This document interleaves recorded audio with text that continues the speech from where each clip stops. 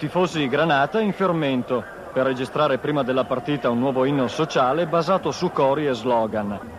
Tifosi giallorossi in ansia per coronare il sogno del primo scudetto, quello d'inverno, platonico ma bene augurante. La Roma ricama il solito gioco elegante e il Torino cerca di stanarla, affidando il contropiede alle ispirazioni di Hernandez.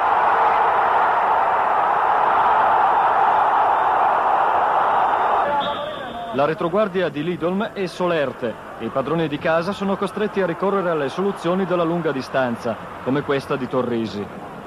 Sull'altro fronte, Conti appare sovente in formato mondial. Dopo una incornata di Vierkovod, Iorio subisce la stregoneria del vecchio campo amico. La marcatura mista uomo-zona dei Granata è disciplinata, ma non sempre impeccabile. Proasca sfrutta una distrazione e attenta all'incolumità di Terraneo. Al 32esimo la Roma passa in vantaggio.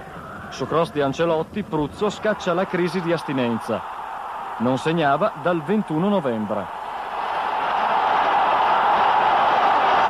Il Torino di oggi è finalmente squadra di carattere. Subito dopo il gol Hernandez semina lo scompiglio nell'area capitolina. È comunque la Roma a confettare l'ultima occasione del primo tempo, obbligando Van de Corput a rischiare l'autogol. Nell'intervallo il presidente Viola e l'avvocato Agnelli dimostrano che in uno stesso stadio si possono vedere due partite diverse. Partita bruttissima, non mi è piaciuta assolutamente. Speriamo che nel secondo tempo sia migliore. Una bella partita divertente, combattuta, equilibrata, ancora aperta. In avvio di ripresa, Selvaggi, uno dei migliori in campo, porge a Dossena la palla del pareggio e di un parziale riscatto personale.